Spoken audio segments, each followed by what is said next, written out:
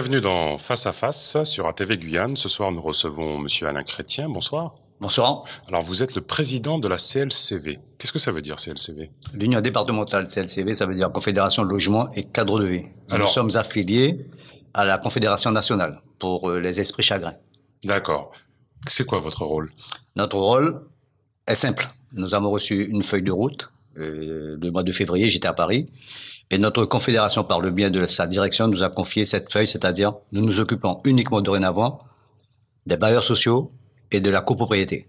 Donc, tout ce qui a trait au logement. Voilà, exactement. Donc, on vous entendra plus parler du transport scolaire, des prix, Non. de la vie chère. Non, parce que nous n'avons pas les personnes ressources pour parler de ces différents volets. C'est la raison pour laquelle cette feuille de route, elle est simple, elle est bien cadrée. Vous savez que nos, nos compatriotes, malheureusement, manquent de structure. S'ils ont un problème qui est en dehors du logement, à qui ils doivent s'adresser? Ils viennent, ils peuvent s'adresser à la CLCV Guyane, mais nous, leur- nous allons les orienter vers le national, D'accord. qui ont la structure qu'il faut. Et c'est la raison pour laquelle, euh, je ne sais pas si je peux montrer la feuille ou bien si vous pouvez montrer, au niveau de la Confédération nationale, ils vont sur le site CLCV et ils voient directement le mot saisir le tribunal par Internet, demander justice. Et il y a toutes les rubriques qui vont intéresser nos compatriotes. Donc, vous vous occupez du logement. Récemment, vous êtes intervenu avec euh, force sur un problème d'eau potable concernant une habitation. Expliquez-nous un peu. Oui, nous sommes intervenus à la Floralie. L'eau, c'est la vie et nous avons... Floralie, c'est à Cayenne. C'est à Cayenne, face des pompiers. Euh, où résident des familles dites euh, seniors. Et nous trouvons inadmissible que au XXIe siècle, les personnes, ces familles-là, ont été privées d'eau depuis les jours gras. Et il était de notre devoir, puisque nous avons des adhérents et adhérentes, il était de notre devoir de faire une intervention aussi rapide auprès du bailleur social qu'est la SIGI. Et chose qui a été faite en l'espace d'une journée, Monsieur Farouk Amri, c'est-à-dire le ven- vendredi dernier, nous avons résolu un problème qui perdurait depuis 25 jours. Comment vous avez fait? C'est-à-dire, nous avons proposé à- aux bailleurs deux possibilités. Soit de mettre une citerne au pied des tours, mais c'était compliqué pour faire le branchement, ou soit d'être en contact avec la GDE qui ont la compétence. Et c'est la deuxième solution qui a été retenue.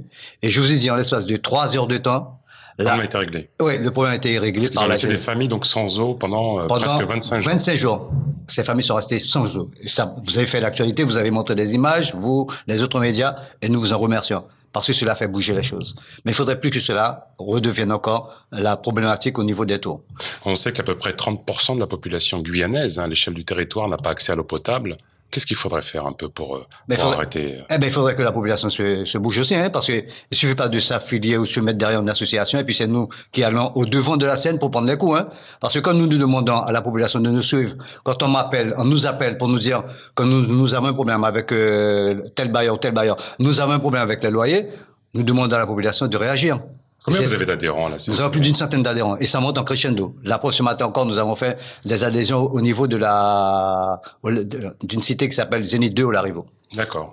Et donc vous êtes euh, toujours dans, dans la dynamique et de la recherche d'une mobilisation Tout de à la fait. Nous mettons, nous mettons, et c'est le travail de l'Union départementale CLCV, nous mettons dans toutes les cités, les résidences, des groupements de locataires ou d'associations s'ils ils existent. Et finalement, nous allons nous orienter, et c'est là notre plus grande difficulté parce que vous connaissez, le territoire est vaste. Nous allons nous orienter vers les communes. Nous avons des, des contacts dans toutes les communes, et maintenant il va falloir que nous mettions en place des groupements de locataires. Vous êtes expert dans le logement. Expliquez-nous. Il y a une telle demande en matière de logement et on n'arrive pas à construire assez de logements. Comment vous l'expliquez? Vous savez, hein, euh, pour répondre à cette question, la question elle est simple. Il y a des ministres qui passent chaque année ou chaque mois. On vous dit qu'il faut construire 3000 logements lents. Mais c'est inadmissible, c'est pas possible de le faire. Pourquoi Pourquoi, Parce qu'il y a des contraintes, des contraintes au niveau des bailleurs sociaux, des contraintes administratives. Parce que vous montez un dossier, c'est pas un dossier que vous montez. Vous montez, vous montez au moins cinq dossiers. Il faut un, un dossier pour la police de l'eau, il faut un, un dossier pour l'État, il faut un dossier pour les communes, il faut un dossier pour la CGLS, il faut un dossier pour la CDC. Donc, c'est compliqué, c'est vaste. Donc, quand vous montez ces dossiers-là, c'est six mois. Le temps que vous avez l'autorisation, vous êtes à la moitié de l'année, donc la constru- les constructions ne peuvent pas se faire en une année. C'est faux. Et pourquoi il n'y a pas un système dérogatoire pour la Guyane? Parce qu'il en existe tellement des dérogations ici. Mais c'est ça, nous demandons, nous avons des parlementaires. Nous leur avons demandé cela, donc euh, vous avez des parlementaires qui font leur travail. Il faut, on tape souvent sur nos élus, mais là, il y a des, des, parlementaires qui font leur travail. Récemment, là, il y a eu quelque chose au niveau du logement. Là, une... Voilà, donc euh, le sénateur Karam est intervenu concernant le, le type de logement à mhm. instaurer dans les départements d'outre-mer. On trouve inadmissible, euh, Monsieur Farouk, et aux, téléspectateurs, téléspectateurs qui nous écoutent, qu'on puisse appliquer euh, une loi où on vous dit il faut que les bâtiments soient équipés de de, de bardage de normes européennes, de normes européennes de mmh. bardage en bois pour atténuer la chaleur. Mais c'est faux. Nous avons nous avons tout ce qu'il faut dans ce département. Nous avons un taux d'humidité de 80%. Nous avons deux temps le soleil et la et, la pluie. D'accord. Donc, faudrait construire en fonction de ça et pas en fonction, en fonction de ça. On le faire, voilà. Mmh. On n'a pas besoin de qu'on donne des normes européennes appliquées dans les départements d'outre-mer. C'est inadmissible. Pourquoi il y a autant de logements chers ici en Guyane? Là, c'est le problème, c'est la, problématique, et là, nous nous battons. C'est là que nous demandons à nos compatriotes de se réveiller, parce que on nous interpelle sans cesse pour nous dire que les loyers sont chers, surtout chez les bailleurs sociaux. Vous savez, il y a une course euh, contre la montre que font les, les, bailleurs. Vous êtes promoteur immobilier, vous achetez en VFA, la vente à l'état de, de futur achèvement, d'achèvement, pardon.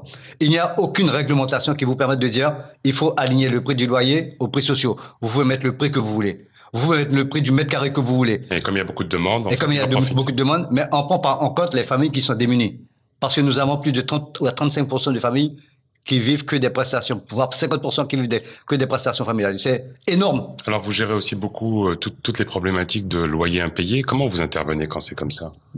Nous disons aux locataires, parce que nous, nous, nous faisons euh, la, la démarche auprès des bailleurs sociaux, c'est-à-dire nous disons aux locataires, ils ont des droits et des devoirs. Je vous ai entendu, c'est important que vous le répétiez une fois sur une place publique. Vous disiez, et ça avait interpellé beaucoup les locataires en disant, lorsque on permet au sein d'une cité de casser un lampadaire, c'est les charges de tous les locataires. Tout à fait, exactement. Quand vous avez des familles qui ont énormément d'enfants, bon, je comprends. Mmh. Qu'on les mette dans des cités, mmh. euh, ils ont droit à un logement. Mmh. Mais il faudra aussi que ces familles prennent en compte le, le respect, le respect de, de l'environnement. Parce que un bailleur ne va pas se permettre à chaque fois de venir changer des ampoules, ne va pas se permettre de venir changer un mobilier urbain Donc pour vous, qui est cassé par, par, par, par, les, les, les habitants qui habitent dans la cité. Réponse courte, s'il vous plaît. Question décalée. Une Guyane propriétaire. Vous y croyez? C'est ce que nous demandons. Très bien. Merci beaucoup, monsieur Alain Chrétien. Merci d'avoir suivi cette émission. Les programmes continuent sur ATV. À bientôt, les amis.